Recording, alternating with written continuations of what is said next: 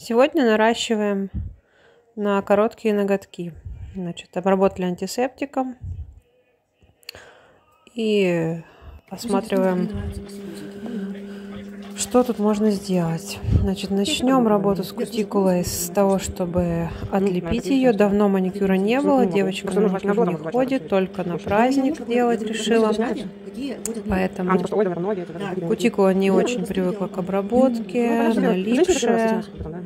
И тут лучше хорошо поработать апельсиновой палочкой, чтобы потом э, меньше работать фрезой и не пропилить в местах, где кутикула зали, залипшая.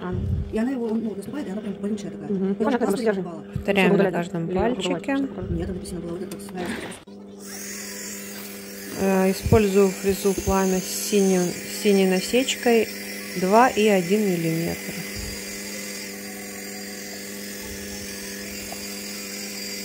Прохожусь в одну сторону.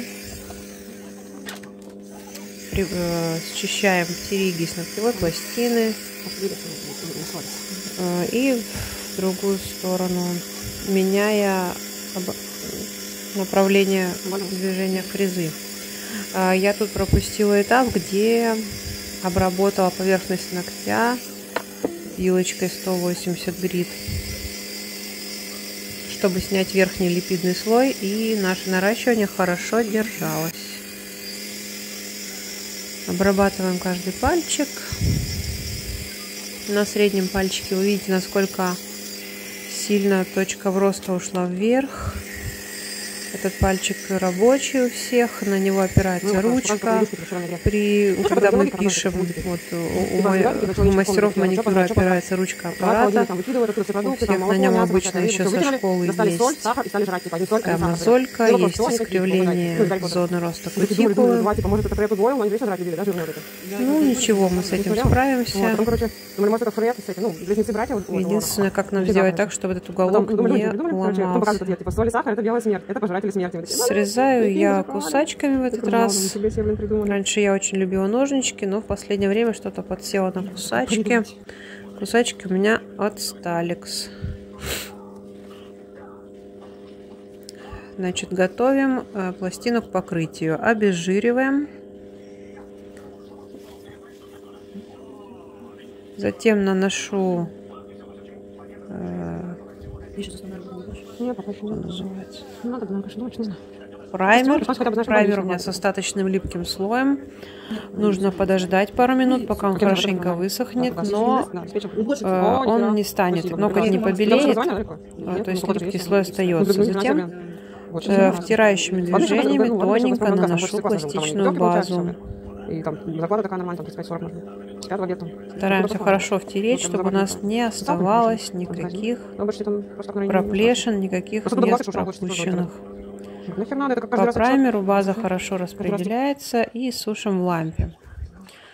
Почему-то мне захотелось сделать подложку из акригеля. Может быть потому, что вот уголочки такие запиленные и точки в роста подняты. Я подумала, что легче будет сделать подложку из акригеля. Не нужно так сильно стараться уж плотно подставить форму. Вот, и сразу подложка уже почти без ступеньки получается. Гель не затекает в эти уголки. В общем, мне показалось это быстрее и удобнее почему-то сегодня. С формой мы тоже как таковой особо не определились. Просто делали, что идет. И получился у нас такой квадрат зауженный, который, ну, даже трудно мне назвать это балериной. Ну, назовем это зауженный квадрат.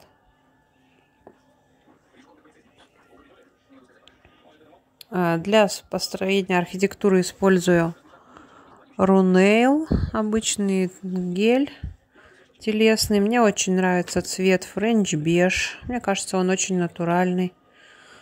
Люблю его, всегда покупаю такой цвет. Раньше очень популярный был, помните, чайная роза. Все этой чайной розой делали. Ну вот что-то не нравится мне. Итак, значит, девочка решила сделать, клиентка, это такой насыщенный зеленый, темно-зеленый цвет. Некоторые ноготки покрыть полностью, а на некоторых сделать френч темно-зеленым цветом. Ну, после опила геля остаются на геле такие бороздки. И если по ним начать красить френч, то, скорее всего, линия улыбки будет такая как бы мохнатенькая, потому что по бороздкам э, гель-краска, гель-лак растечется.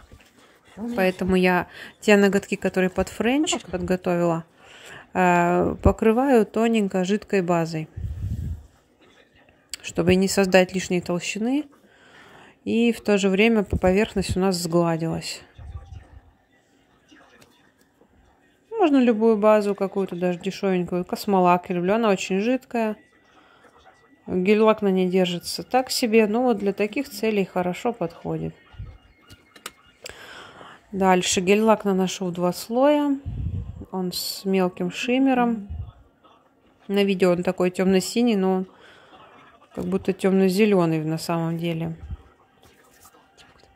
Первым слоем, чтобы не терять время, я близко к кутикуле не подвожу наношу так. Черновой вариант, так сказать. А вторым слоем уже наношу то, э, более аккуратно и тонкой кистью прокрашиваю кутикулы.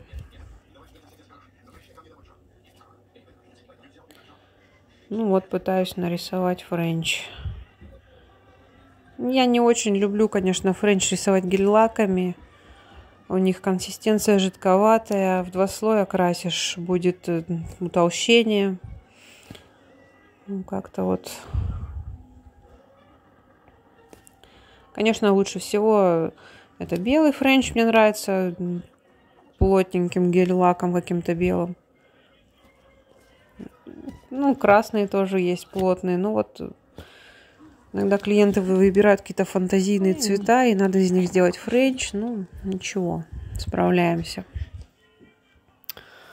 Вот, на те ноготки, которые у нас целиком покрыты цветом, мы нанесли топ светоотражающий от Ириск со светоотражающими частичками. И на остальные наношу обычный топ от э, Clio Brilliant. Значит, ступенечку нашу потом я капельку добавила под э, ручку можно перевернуть, чтобы эта ступенька перед френчем, чтобы она как-то выровнялась немножко. Вот. Ну, клиентка была довольна уже и этим, но мне показалось как-то мало праздника, мало Нового года. Хотелось чего-то добавить, и тем более изнанки. Хоть я их и подровняла, и подвыпилила, но все равно они большие, розовые какие-то такие. И мы решили с изнанки сделать такой сюрприз с золотой красочкой. Золотой красочкой сделали такое, как это у нас называлось раньше, лабутены. У лабутенов только красная изнанка, а у этих золотая. Золотая новогодняя изнаночка. Мне показалось, что так будет интереснее, чем розовая изнанка из геля.